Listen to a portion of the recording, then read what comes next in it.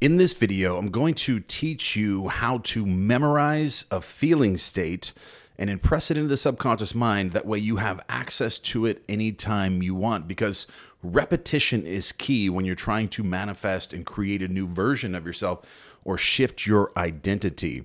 And I'm going to give you several different techniques that you can use, and you can pick one or you can use all of them to learn how to take advantage of feeling states because, as we know, feeling is a secret.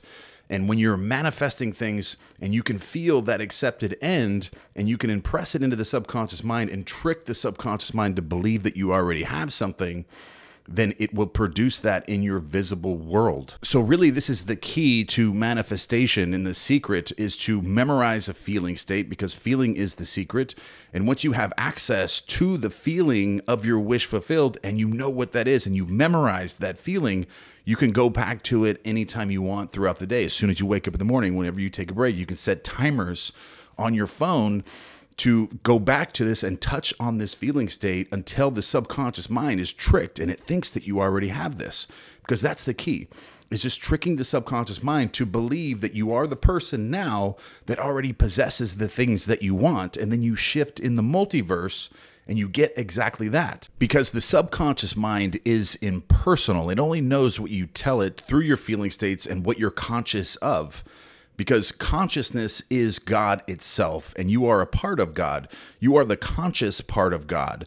And the subconscious part of God is actually what creates everything into the visible world and is projected from inside of you out. But you have control over the subconscious mind with your conscious states and what you're conscious of and who you are conscious of being.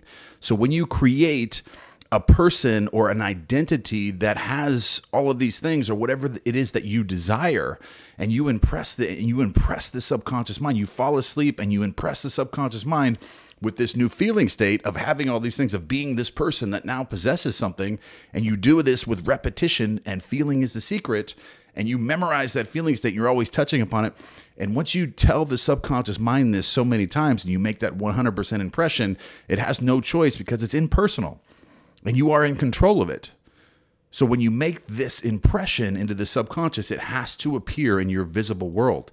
And if you're having difficulty with manifestation, it's probably because you are not creating a feeling state and using this with repetition and really changing your identity because you don't truly get what you want.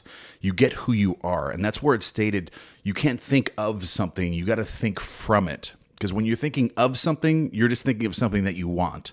And when you're thinking from something, you're thinking of that you are the person that now possesses it and you are it. You're thinking of it in the first person rather than the third person. When you think of something that you just want, I want this, and you're visualizing yourself having it, then you're only you're thinking of it in the third person because when you when you start thinking from something you become the thing and you're actually the thing and you're playing your part within that movie in the visualization. So never forget that you must become the thing. You must think from the thing and not of the thing because thinking of it is just something that you want and it's at a distance from you. When you think from it you're actually the person that possesses it. And remember the subconscious mind or God is impersonal. It doesn't have a motive of its own. It only knows what you tell it, what you're of what you're conscious of of your world.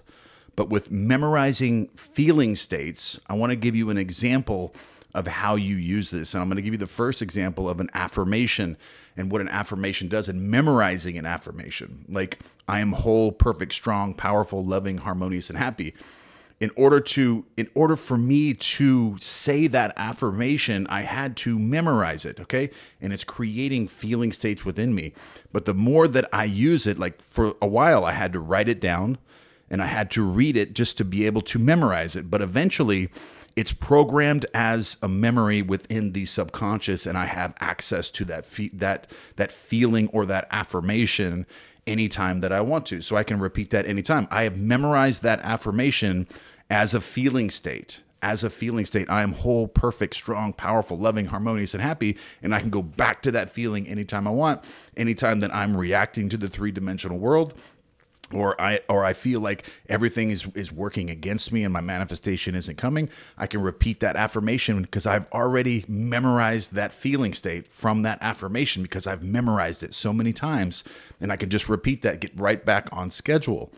Or you can use a visualization. If you create a visualization of the end result, say for example, it's a relationship or it's having, you know, or winning the lottery if you wanted to win the lottery, you would imagine yourself three months after you had already won and you're with your family and with your friends you you you have more money than you could imagine and and they're telling you and they're congratulating you on how successful you are or how much money you have and you're just you're in love with life and you're grateful and you're thankful and you're and you're in the wish fulfilled.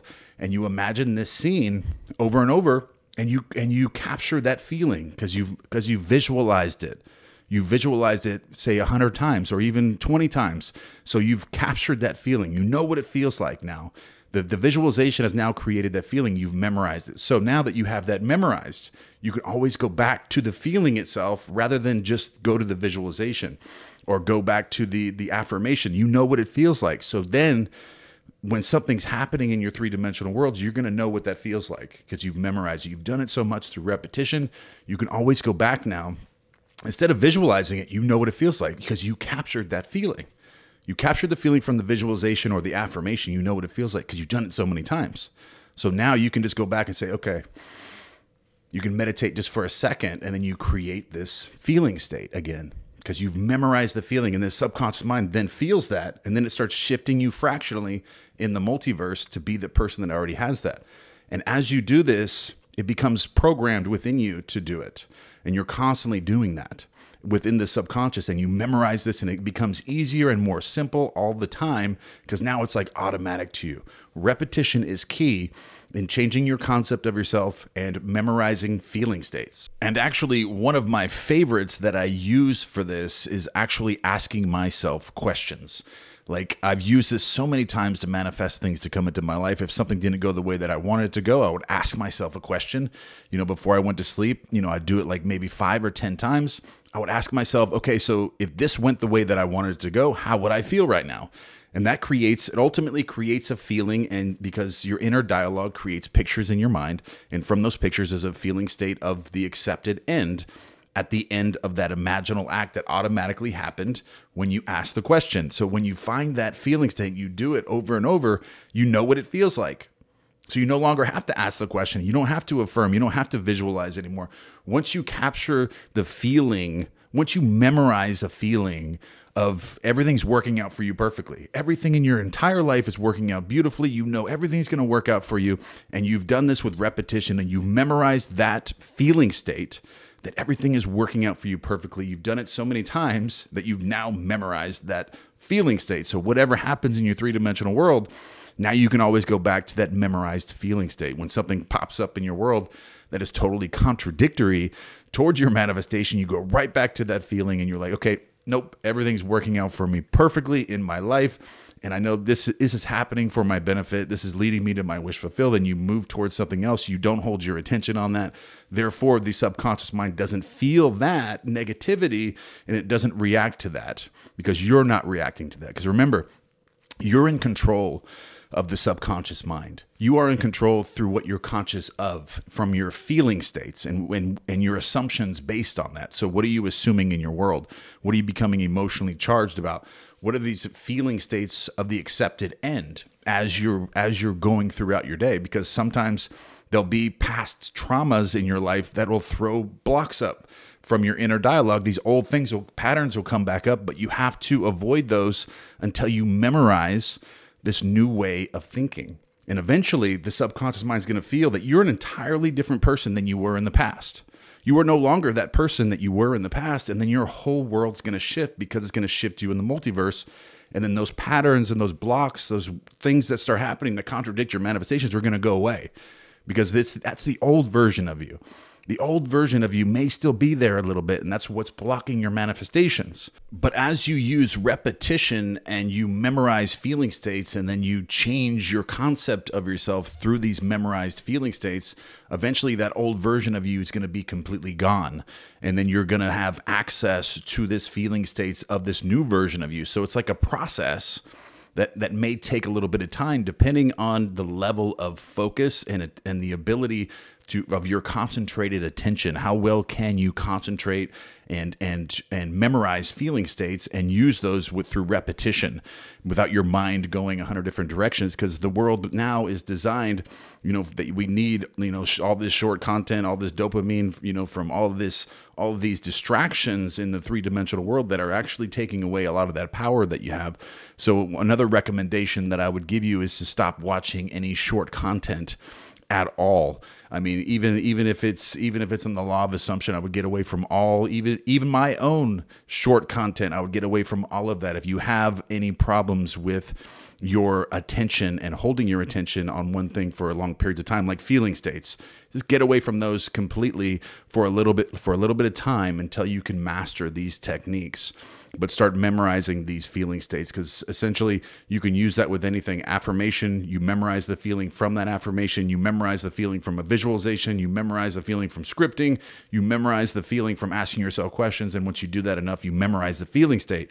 And then you have access to that feeling state at all times. And it's actually impressed into the subconscious and then eventually your entire version of yourself is is shifted and changed and now all these other things are going to go away. Your old version of yourself is going to be gone and you'll find that a lot of the blocks that you're having are going to start vanishing and disappearing as your mindset starts changing and these new feeling states are impressed into the subconscious so what I want you to do is start using this these techniques to memorize your your feeling states, the feeling of the accepted end. Okay, that's what this is. So you're you're accepting the feeling, you're memorizing the feeling of the accepted end, and then you're you're you're memorizing this completely that way, you don't have to do a visualization. You don't have to do an affirmation. You don't have to do any scripting. You already know what it feels like. You've already memorized it because you've done it so much. So, whenever anything's happening, you can do this all day long and impress the subconscious mind with it and not have to continue with all these other things.